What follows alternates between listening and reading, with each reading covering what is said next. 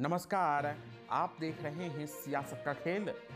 आजमगढ़ ज़िले के बाहुबली नेता, फूलपुर से सपा विधायक रमाकांत यादव, मेहनगर टंडवा गाँव में बाबा साहब भीमराव अंबेडकर के मूर्ति अनावरण कार्यक्रम में मुख्य अतिथि के रूप में शामिल हुए।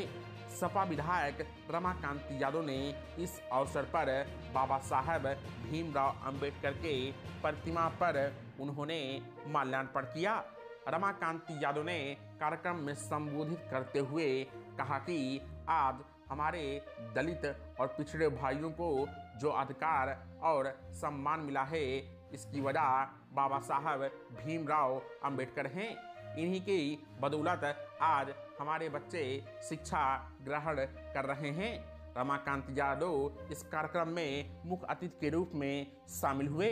आपको बता दें कि यह कार्यक्रम मेहनगर विधानसभा के टंडवा गाँव में हुआ, जहाँ पर बाबा साहब भीमराव अंबेडकर के मूर्त का अनावरण और उनके जयंती समारोह का कार्यक्रम हुआ।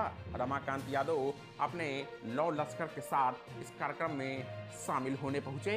अगर आपने अभी तक हमारे चैनल को सब्सक्राइब नहीं किया है तो चैनल को सब्सक्राइब कर लें, बेल बटन ज़रूर दबाएँ। वीडियो देखने के लिए धन्यवाद।